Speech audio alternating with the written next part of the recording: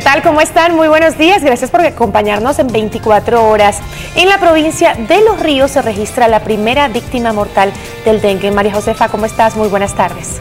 Hola Gisela, amigos, que tengan ustedes muy buenas tardes. Otra de las consecuencias del invierno se registran en el austro del país, concretamente en la provincia de La Suay, que soporta una nueva tragedia. Con este tema empezamos.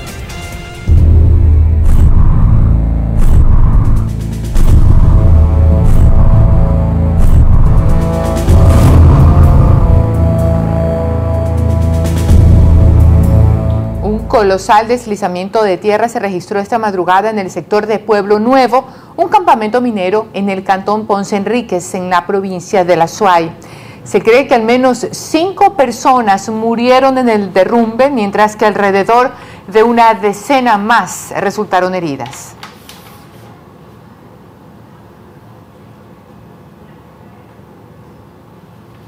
Y el gobernador y presidente del Comité, del Comité de Operaciones de Emergencia de la SOAI, Humberto Cordero, confirmó que hasta el momento seis personas fueron las que fallecieron y otras 15 resultaron heridas en ese deslizamiento se ha producido y ha taponado eh, el aluvión de lodo el 70% de esta población. 15 heridos que están siendo evacuados están siendo trasladados también dos helicópteros, que hay un bloqueo que no se puede llegar, un bloqueo de la vía. Tenemos eh, personas que están aisladas. Se ha dispuesto a, a, las, eh, educación y a salud eh, tener listos todos los centros de salud y al igual que las escuelas para posiblemente habilitar en albergues. Vamos de inmediato hasta el lugar de la tragedia con nuestro compañero César Velastegui para que nos narre los detalles de lo que ha sucedido. Buenas tardes, César, adelante.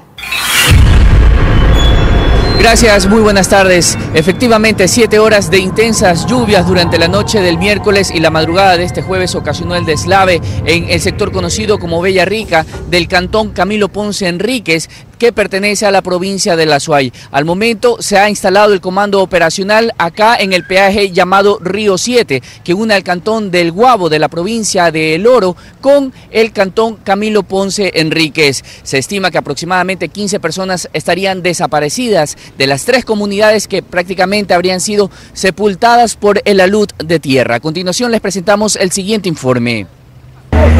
Es uno de los grupos de búsqueda y rescate que están trabajando en el sector de Bellarrica, luego que un deslave aislar a varias comunidades. Acciones que son controladas desde el Comando Operacional de Emergencia instalado en el peaje Río 7. Digamos en la Sociedad Minera Pueblo Nuevo hay nueve heridos que están ahorita en atención en Bellarrica, pero hay 15 desaparecidos que no se sabe qué ha pasado, se supone que están sepultados. Mientras tanto, ambulancias con medicamentos y personal del Ministerio de Salud han instalado un dispensario para atender a los primeros heridos, ya que actualmente es muy difícil ingresar a la zona afectada. Por cuanto la lluvia cortó las vías de acceso tanto por Ponce Enríquez como por el sector de Brasil. Los dos grupos de rescate han avanzado a pie. Se está gestionando con las Fuerzas Armadas el uso de un helicóptero que facilite las labores de rescate. Para que tengan una referencia, el sitio del deslave se encuentra a 700 metros al nivel del mar, por lo que personal de las Fuerzas Armadas se encuentran realizando operaciones de rescate para tratar de trasladar a este punto a la mayor cantidad de personas heridas y dependiendo de la gravedad de sus heridas, sean trasladadas a los diferentes hospitales o directamente a los albergues que se han asignado acá en el Cantón Camilo Ponce Enríquez. Esto es lo que les podemos informar en el noticiero estelar de las 20 horas. Les daremos más información sobre cuántas personas seguirían desaparecidas y cuál fue el proceso de rescate. Esto es lo que les podemos informar. Sigan ustedes en estudios. Muy buenas tardes. Buenas tardes, seguiremos atentos entonces.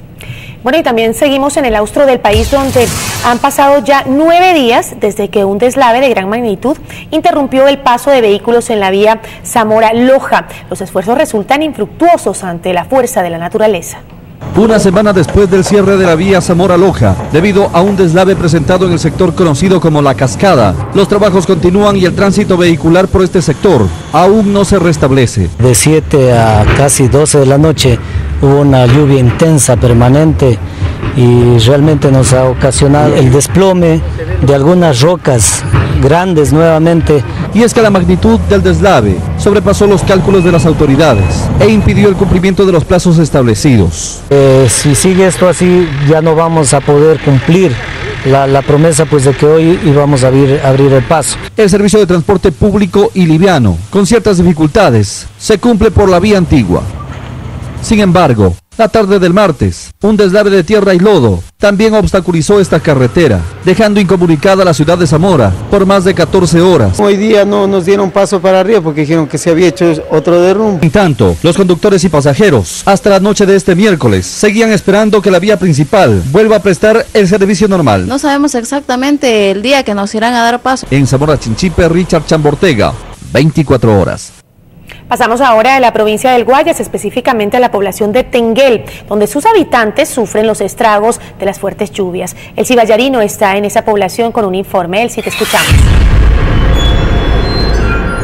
¿Qué tal? ¿Cómo están amigos televidentes? Muy buenas tardes. La parroquia Tenguel en la provincia del Guayas amaneció con agua en las calles e incluso dentro de muchas de las viviendas de este sector. Llevan varias horas sus moradores tratando de sacar el agua que ha ingresado en sus casas. Como vemos, el muro de contención en algunas partes del río se está desmoronando y lo que ha provocado el desbordamiento del río Tenguel. Las personas están alarmadas. Es la primera lluvia fuerte que se registra en este invierno y ya la situación es crítica. Están pidiendo que las autoridades se hagan presentes aquí en el sector. Vemos que algunas maquinarias de la prefectura han llegado para tratar de solucionar el inconveniente, sin embargo dicen que no es suficiente, sobre todo que tienen miedo a que se empiecen a presentar enfermedades propias del invierno y también eh, brotes de epidemias debido a que aquí tienen un serio problema con el sistema de alcantarillado de aguas servidas que se están mezclando con las aguas del río que ingresan a los domicilios.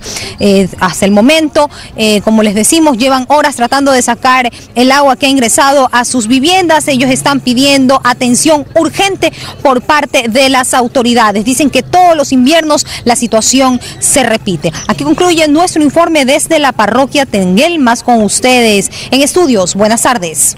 buenas tardes y gracias a Elsie Vallarino por ese informe.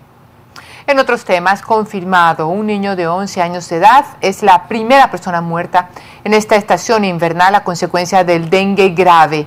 Vivía en el cantón Valencia, en la provincia de Los Ríos. La primera muerte a causa del dengue hemorrágico confirmada por el Ministerio de Salud es de un niño de 11 años de edad, oriundo del Cantón Valencia en la provincia de Los Ríos. Su abuela, que estaba al cuidado del pequeño, es de escasos recursos económicos y lamenta la pérdida del mayor de tres hermanos. la una lo sacaron al hospital, o sea que a Valencia, pero no hubo atención ahí, lo mandaron a, a que... Su abuelo, quien no puede trabajar desde hace años por un problema en sus piernas, solicita un poco de ayuda. Nosotros somos pobrecitos, pues no tenemos. Hasta este subcentro de salud fue llevado el niño de 11 años de edad, con graves síntomas después de haber sido automedicado. Vino a la atención al subcentro en malas condiciones, se le hizo los exámenes eh, pertinentes y fue referido a la ciudad de Guayaquil a un hospital del tercer nivel y bueno, lamentablemente este, falleció. Es el primer caso de dengue grave que se nos ha presentado. Su abuela confiesa que efectivamente el niño fue medicado antes de ser trasladado hasta una casa asistencial. Yo lo llevé a curar de ojo, lo llevé y ya después lo llevé al centro. Mi señora fue y le, dio una prona y dicen porque eso le hizo daño. Después del hecho, el Ministerio de Salud se hizo presente realizando limpiezas en el lugar. Martín Soto, 24 horas. Continuamos con la información. Pese a las contradicciones del presidente de la Federación Ecuatoriana de Fútbol, Luis Chiriboga, sobre los derechos de, la de transmisión de los partidos de fútbol, las autoridades son claras al, al afirmar que habrán sanciones para los medios que hagan transmisiones sin contar con los contratos registrados en la Superintendencia de Telecomunicaciones. En los principales periódicos del país se publicaron hoy los contratos vigentes que mantiene Teleamazonas con varios equipos de fútbol del país, los mismos que avalan legalmente a este canal para transmitir en exclusiva sus partidos. Son dos equipos que tienen obligaciones contractuales con Teleamazonas a través de contratos vigentes registrados legalmente en la Superintendencia de Telecomunicaciones. Por ejemplo, Liga Deportiva Universitaria registra el contrato suscrito para la transmisión exclusiva de sus partidos con Teleamazonas desde 2010 hasta 2014. Con el Deportivo Quito el contrato es por 2013 y 2014. Con Liga de Loja por 2010, 2011, 2012 y 2013. Deportivo Quevedo 2012, 2013 y 2014, y con Universidad Católica por los años 2012, 2013 y 2014, además de seis clubes de la Serie B que también mantienen contratos vigentes para la transmisión exclusiva de sus partidos por la cadena Teleamazonas. Contratos que implican responsabilidades legales, por más que ahora los pretenda desconocer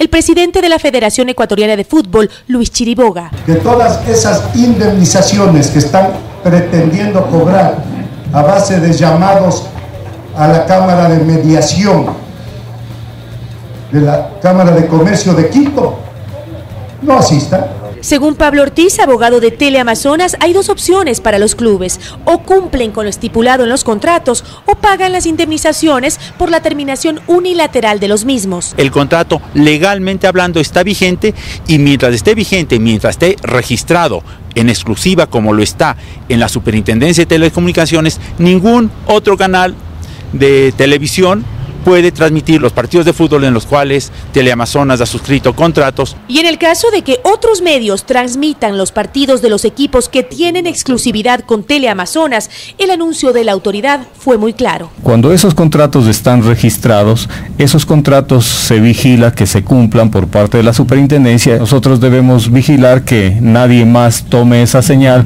o nadie más esté transmitiendo simultáneamente desde el mismo lugar.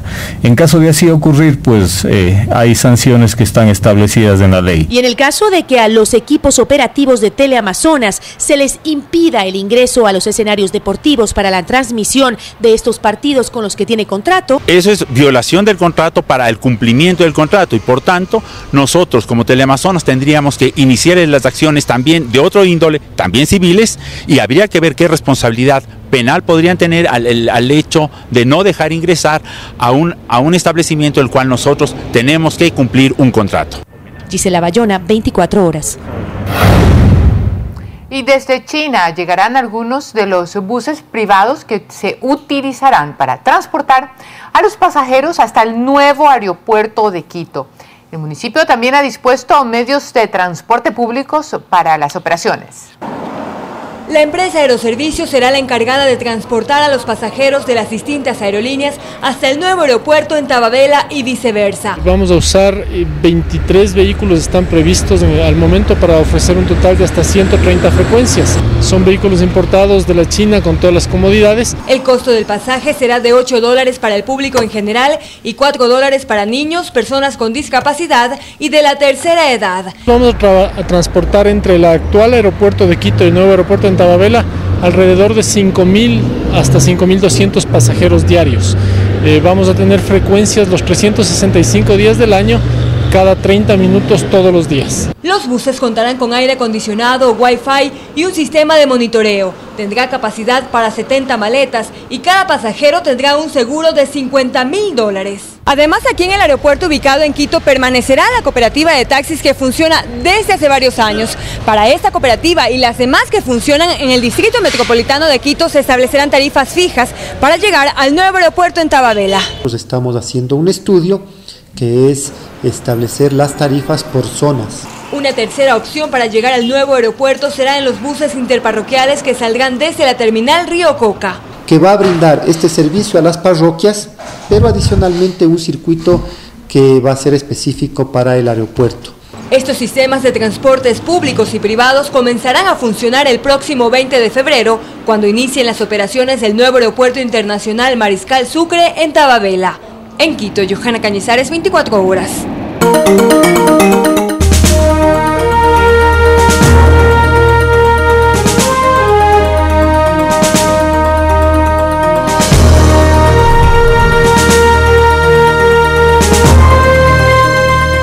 Menos de la mitad de los paquetes electorales que serán enviados a las mesas de sufragio están listos. Los consejeros electorales recorrieron las instalaciones donde toman forma los kits.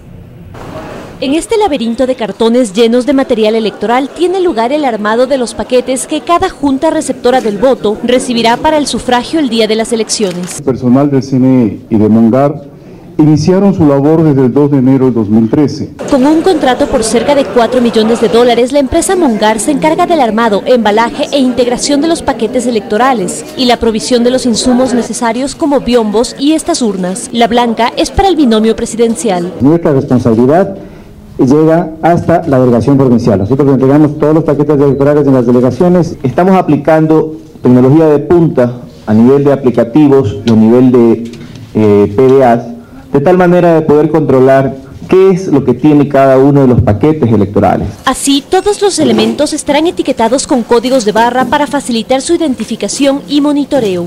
Además, dentro del kit se incluye material de oficina. Incorporamos marcadores para poder identificar claramente la intencionalidad del voto. Hasta la fecha, el 40% del armado estaría listo. Aún falta más de la mitad del trabajo por hacer. En total, aquí armarán 40.451 paquetes electorales que comenzarán a ser distribuidos en el exterior desde el 4 de febrero y a partir del 8 a todas las provincias del país. En Quito, María Gracia Acosta, 24 horas.